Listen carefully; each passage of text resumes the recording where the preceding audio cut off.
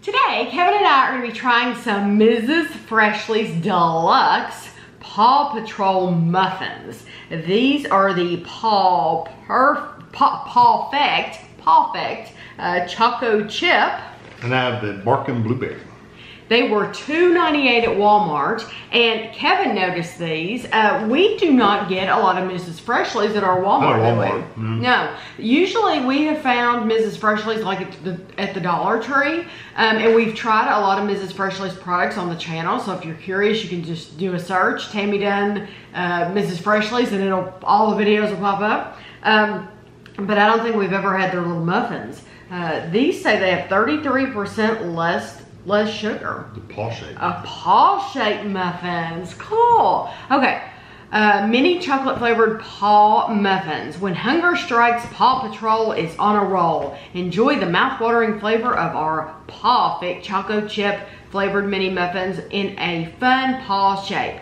With even more flavors like Barkin Blueberry flavored mini paw muffins, you can give kids all the taste they love with at least 33% less sugar that parents love. It sounds like a commercial, doesn't it? it is. Five servings in the container. One pouch is 150 calories. well, I think there's only four muffins in a pouch. wonder if they have a little, oh, yep, they do. A little tear, oh, and there's a, um, Marshall and, um, whatever her name is, because I don't know. I don't know the characters either. Now, when Gavin was little, Gavin was really into Paw Patrol. He, um, I mean, I would say he would watch it now, but he's moved on.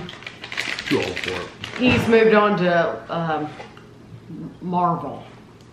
These are, um, Cute. they, yeah, they seem like, I don't know, they seem like they're a different texture than, Mhm, uh, They're a little denser, it seems like. I don't see as many chocolate chips in there.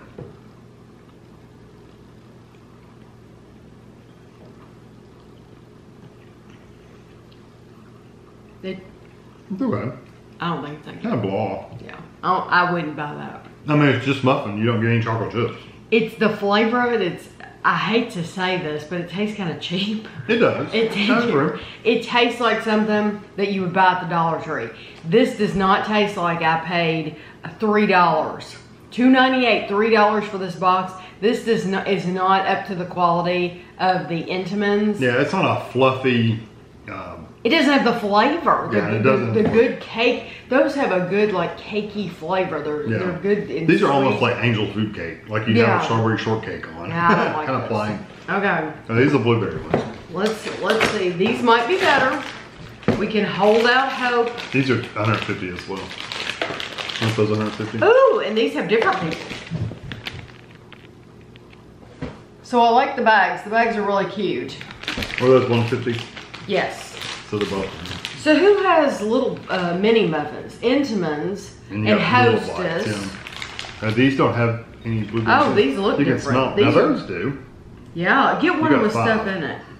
Yeah, we got five in here. They smell really good. So I'm gonna take a bite with a, some blueberry. Texture's basically the same. Oh gosh, no. Mm-mm. Nope. Not for me. It's okay. I don't like it. I'm sorry. I do not like it. There's been a lot of Mrs. Freshley's items we liked. As a matter of fact, I'm thinking most of them we do like.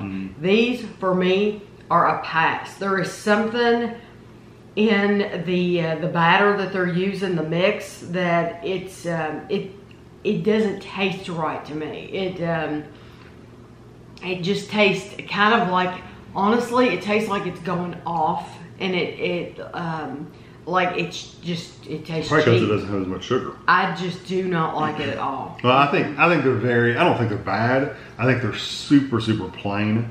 Um, the other brands are much much better flavor. Yes, they are. Have yeah. much more fla- better flavor, better texture, better everything. So Yeah. just go get the other ones. Yeah, I passed on both. Unless you can get these for a dollar, and you're giving them to your kids or your grandkids, then maybe you know go ahead. But Personally, I want my children to. I know I wouldn't. food. I wouldn't actually give these. to No, we wouldn't give them to our either. family. Yeah, so I'm not going to tell you to give them to your family because I know we want our kids to eat good food and and uh, eat things that taste good, and and we wouldn't buy these for our own family. So I'm going to tell you to pass on them too. So um, I'll have a picture for you at the end, and thanks for watching.